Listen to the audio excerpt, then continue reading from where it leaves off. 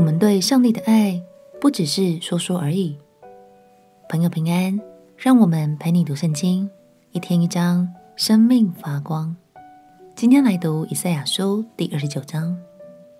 这一章，以赛亚先知要继续对耶路撒冷发出预言。当时耶路撒冷有另一个名字，叫做亚利伊勒，意思是祭坛上的火炉。这指出耶路撒冷是犹大百姓的敬拜中心，但遗憾的是，耶路撒冷依然没有全心依靠上帝，甚至选择与埃及来结盟，深深伤透了上帝的心。让我们一起来读以赛亚书第二十九章。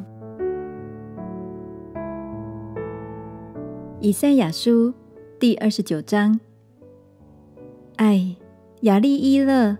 亚利伊勒，大卫安营的城，任凭你年上加年，节期照常周流，我终必使雅利伊勒困难，他必悲伤哀嚎，我却仍以他为雅利伊勒。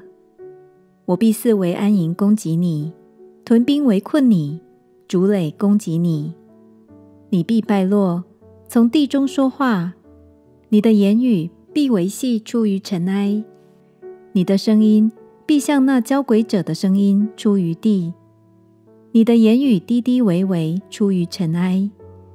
你仇敌的群众却要像细尘，强暴人的群众也要像飞糠。这是必顷刻之间忽然临到。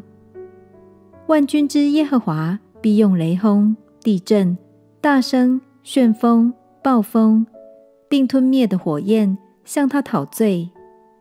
那时，攻击亚利伊勒列国的群众，就是一切攻击亚利伊勒和他的保障，并使他困难的，必如梦境，如夜间的异象；又必像饥饿的人梦中吃饭，醒了仍觉腹空；或像口渴的人梦中喝水，醒了仍觉发昏，心里想喝。攻击锡安山列国的群众，也必如此。你们等候惊奇吧，你们宴乐昏迷吧。他们醉了，却非因酒；他们东倒西歪，却非因浓酒。因为耶和华将沉睡的灵浇灌你们，封闭你们的眼，蒙盖你们的头。你们的眼就是先知，你们的头就是先见。所有的末世，你们看如封住的书卷，人将这书卷。交给识字的说：“请念吧。”他说：“我不能念，因为是封住了。”又将这书卷交给不识字的人说：“请念吧。”他说：“我不识字。”主说：“因为这百姓亲近我，用嘴唇尊敬我，心却远离我。他们敬畏我，不过是领受人的吩咐，所以。”我在这百姓中要行奇妙的事，就是奇妙又奇妙的事。他们智慧人的智慧必然消灭，聪明人的聪明必然隐藏。祸哉！那些向耶和华深藏谋略的，又在暗中行事，说：“谁看见我们呢？谁知道我们呢？”你们把事颠倒了，岂可看窑匠如泥吗？被制作的物，岂可论制作物的说，他没有制作我；或是被创造的物，论造物的说，他没有聪明。黎巴嫩变为肥田，肥田看如树林，不是只有一点点时候吗？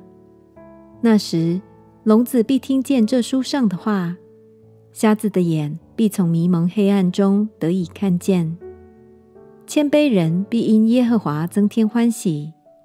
人间贫穷的必因以色列的圣者快乐，因为强暴人已归无有，亵慢人已经灭绝，一切找机会作孽的都被剪除。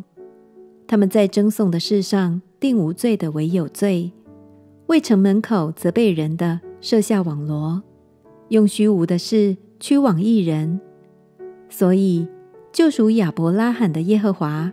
论雅各家如此说：雅各必不再羞愧，面容也不致变色。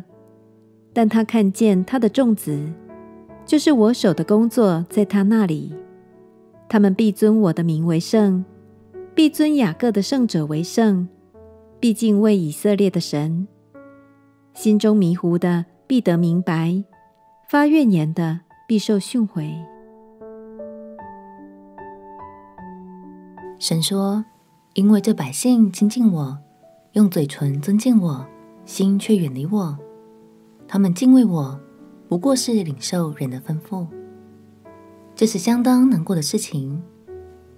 当时许多百姓拥有看似敬虔的行为，但内心……”却不是真的爱神、依靠神，慢慢的，他们也就越来越无法明白神的心意。亲爱的朋友，真心爱着你的人，肯定不只是嘴巴说说而已，对吧？让我们彼此鼓励，不止开口敬拜神，更要真心依靠他，相信他也必用丰盛的慈爱包围你。我们起来祷告。亲爱的耶稣，我要敬拜你，敬畏你，更要全心依靠你。祷告奉耶稣基督的圣名祈求，阿门。祝福你每天都能尽心尽性、尽意尽力爱主你的神。陪你读圣经，我们明天见。耶稣爱你，我也爱你。